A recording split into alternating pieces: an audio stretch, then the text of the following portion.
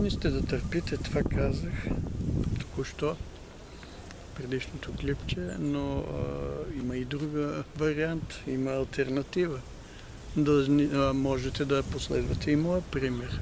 Ще се бунтувате, ще се съпротивлявате, ще работите по нов начин. Ето сега в часовете по философия с 8 клас, вместо да тормозите учениците да а, запаметяват, да освояват папагалски, някакво чуждо им и непонятно знание, да рецитират чужди мисли, вместо да се създадат условия да имат свои собствени мисли. Сега доколко е възможно това на тяхната възраст, в някакъв смисъл може би е възможно, може би пък юношите сами да си изработят своя юношеска философия, ще бъде прекрасно. Нали, аз да виждате, че не съм достатъчно категоричен. Опитвам се да осмисля нещата цялостно. А, такъв един а, глупав негативизъм заради самия негативизъм не ми е присъщ. А, възможно е да се, да се, и да се получи нещичко. Разбира се, то се зависи от съответните преподаватели, от техните разбирания, подходите, които използват. Но в никакъв случай не бива да се поддават на този външен натиск и да бъдат така безропотни изпълнители на една чужда министерска воля, която на министерските чиновници слабо ги вълнува какво ще става в часовете.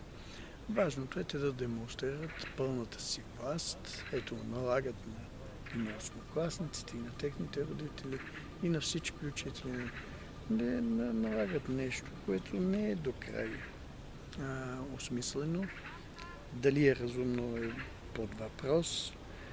Може би е глупаво. недомислица някаква, нелепица. Но те си демонстрират властта и вероятно изпитват така задоволство от себе си, от монопола си. Могат да си правят каквото си искат. Да, да продължа нататък да възникне една чисто юношеска философия. Това ще бъде чудесно, обаче е, защо не е имало примерно един млад човек на, да речем, 14-15 години, който да е написал чудесни философски текстове до сега. Историята на човечеството защо не е имало? Ето да речеме велики философи, Ницше, Шопенхауер и проче. На 20-20, на 22 години вече са се увличали невероятно много по философски теми, мислили са, писали са и са създали чудесни текстове. Но това е било все пак на 20 години, не на 13, 14, 15. А, за тази възраст мен ми се струва, че е по-подходящо заниманието с изкуство. А, примерно учениците в 8 клас да им се предлага да четат текстове и да ги обсъждат. Що годе подходящи текстове, да ги обсъждат и да, ги, да им се предлага да пишат есета, в които да се постараят да вложат своето разбиране.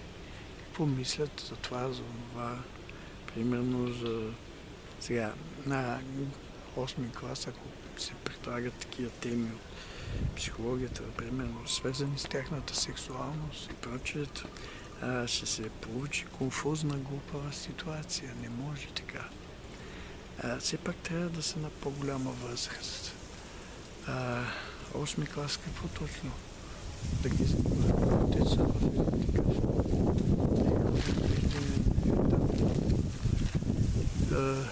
Виждате колко трудно е да се открие начина, но ще трябва да се експериментира.